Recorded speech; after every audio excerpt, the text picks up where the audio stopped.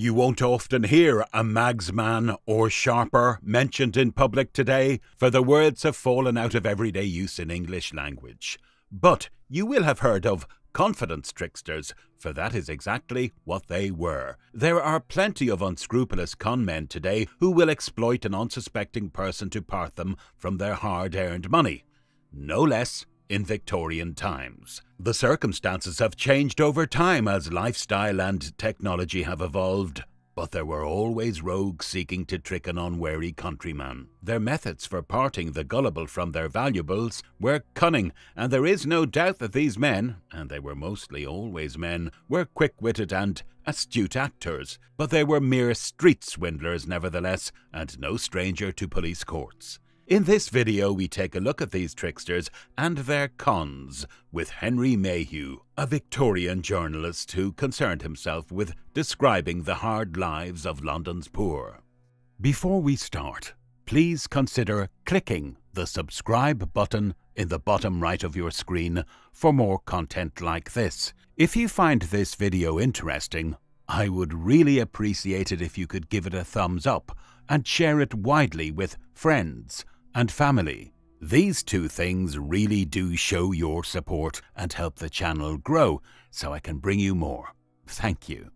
Check out the description for links to more interesting videos about the Victorians and take a look at the channel page for even more content. There is a peculiar class of unprincipled men who play tricks with cards, skittles, etc., and lay wagers with the view of cheating those strangers who may have the misfortune to be in their company. Their mode of operation is this. There are generally three of them in a gang. Seldom, or never less. They go out together, but do not walk beside each other when they are at work. One may be on the one side of the street and the other two arm in arm on the other. They generally dress well and in various styles. Some are attired as gentlemen, others as country farmers. In one gang, a sharper is dressed as a coachman in livery, and in another they have a confederate attired as a parson and wearing green spectacles. Many of them start early in the morning from the bottom of Holborn Hill and branch off in different directions in search of dupes. They frequent Fleet Street, Oxford Street, Strand, Regent Street, Shoreditch, Whitechapel, Commercial Road, the vicinity of the railway stations and the docks. They are generally to be seen wandering about the streets till four o'clock in the afternoon, unless they have succeeded in picking up a stranger, likely to be a victim. They visit the British Museum, St. Paul's, Westminster Abbey, and the Crystal Palace, etc., and on market days attend the fairs. The person who walks the street in front of the gang is generally the most engaging and social. The other two keep in sight and watch his movements. As the former proceeds along, he keenly observes the persons passing. If he sees a countryman or a foreigner pass who appears to have money or a person loitering by a shop window, he steps up to him and probably enters into conversation regarding some object in sight. For instance, in passing Somerset House in the Strand, he will go up to him and ask what noble building that is, hinting at the same time that he is a stranger in London. It frequently occurs that the individual he addresses is also a stranger in London. Having entered into conversation, the first object he has in view is to learn from the person the locality to which he belongs. The sharp informs him he has some relation there, or knows some person in the town or district. Many of the magsmen have travelled a good deal and are acquainted with many localities. Some of them speak several foreign languages. He may then represent that he has a good deal of property and is going back to his village to give some money to the poor. It sometimes occurs in the course of conversation he proposes to give the stranger a sum of money to distribute among the poor of his district as he is specially interested in them, and may at the same time produce his pocket-book with a bundle of flash notes. This may occur in walking along the street. He will then propose to enter a beer shop or gin palace to have a glass of ale or wine. They go in accordingly. When standing at the bar or seated in the parlour, one of his confederates enters and calls for a glass of liquor. This party appears to be a total stranger to his companion. He soon enters, as it were, casually into conversation, and they possibly speak of their bodily strength. A bet is made that one of them cannot throw a weight as many yards as the other. They make a wager, and the stranger is asked to go with them as a referee to decide the bet. They may call a cab and adjourn to some well known skittle alley on going there, they find another confederate, who also pretends to be unacquainted with the others. One of the two who made the wager as to throwing the weight may pace the skittle ground to find its dimensions, and pretend it is not long enough. Then they will possibly propose to have a game at skittles, and will bet with each other that they will throw down the pins in so many throws. The sharp who introduced the stranger, and assumes to be his friend, always is allowed to win, perhaps from five shillings to ten shillings, or more, as the case may be. He plays well, and the other is not so good. Up to this time, the intended victim has no hand in the game.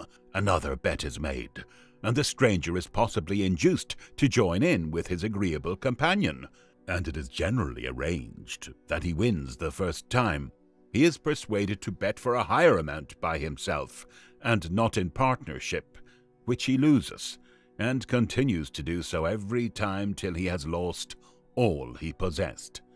He is invariably called out to the bar by the man who introduced him to the house, when they have a glass together, and in the meantime the others escape.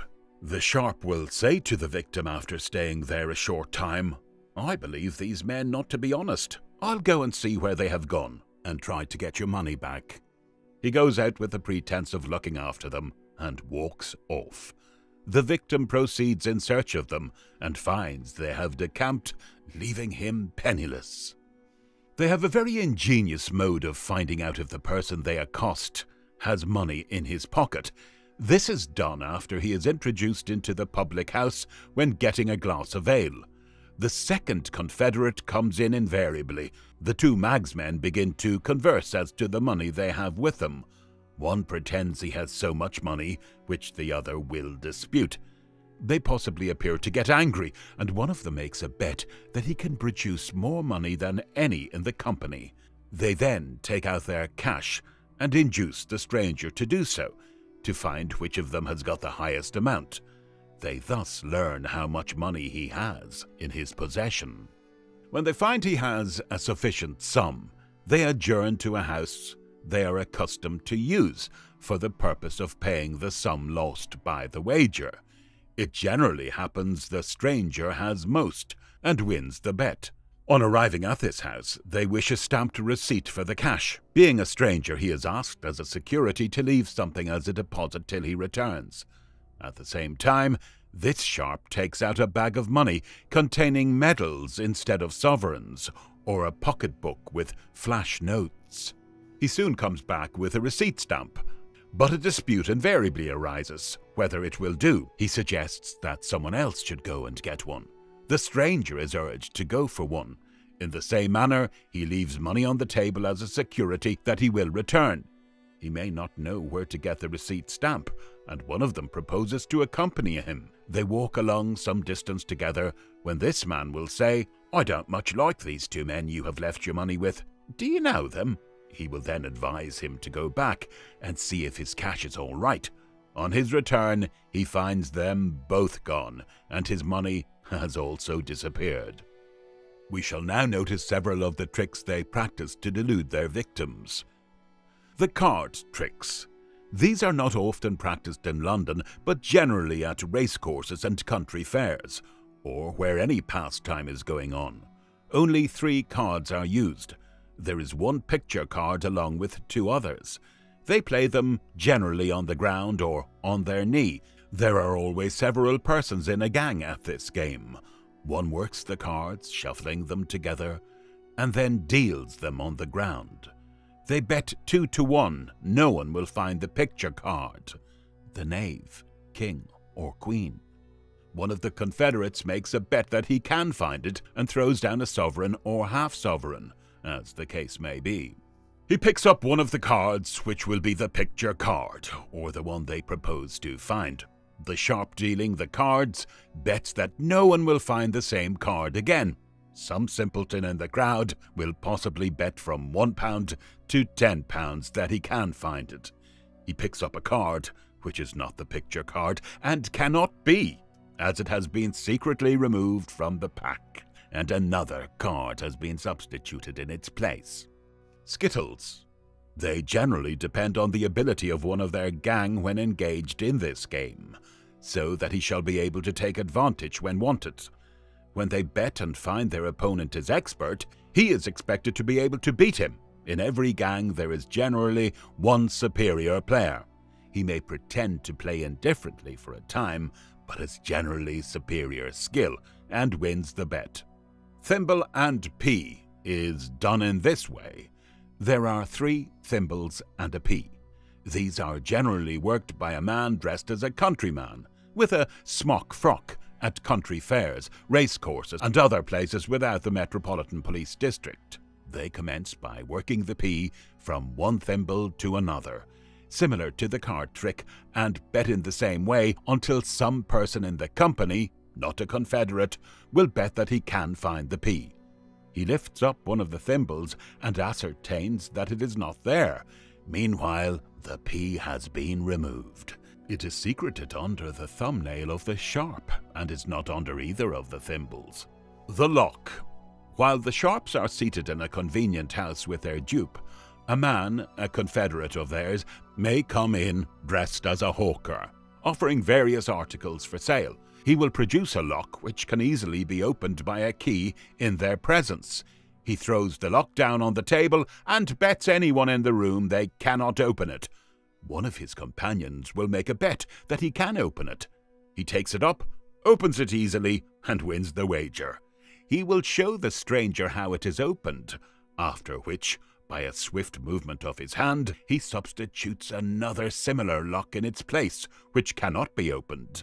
The former is induced possibly to bet that he is able to open it.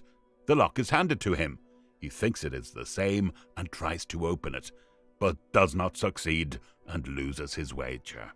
There are various other tricks somewhat of a similar character, on which they lay wagers and plunder their dupes. They have a considerable number of moves with cards, and are ever inventing new dodges, or pulls, as they term them.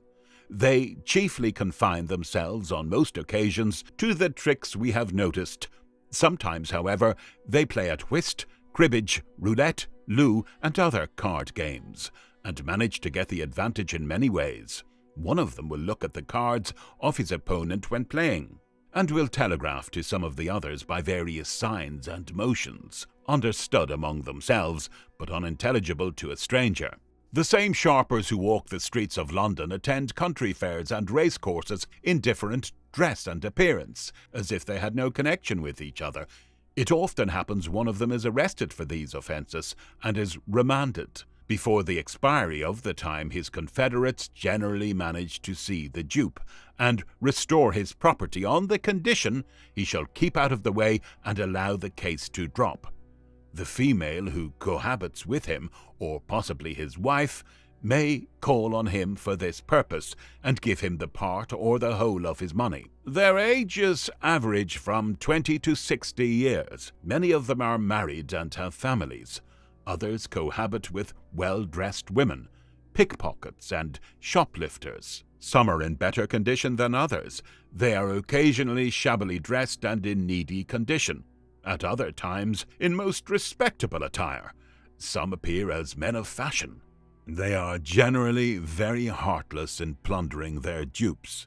Not content with stripping them of the money he may have on his person, sometimes a large sum, they try to get the cash he has deposited in the bank and strip him of his watch and chain, leaving him without a shilling in his pocket. There is no formal association between the several gangs, yet from their movements there appears to be an understanding between them. For example, if a certain gang has plundered a victim in Oxford Street, it will likely remove to another district for a time, and another party of magsmen will take their place. Many of them reside in the neighbourhood of Waterloo Road and King's Cross, and in quiet streets over the metropolis. Magsmen are of various grades. Some are broken down tradesmen, others have been brokers and publicans and French polishers, while part of their number are convicted felons. Numbers of them are betting men and attend races. Indeed, most of them are connected with this disreputable class. Sometimes, when the sharps cannot manage to defraud the strangers they meet with, they snatch their money from them with violence. They are frequently brought before the police courts, charged with conspiracy with intent to defraud, but the matter is in general secretly arranged with the prosecutor, and the case is allowed to drop.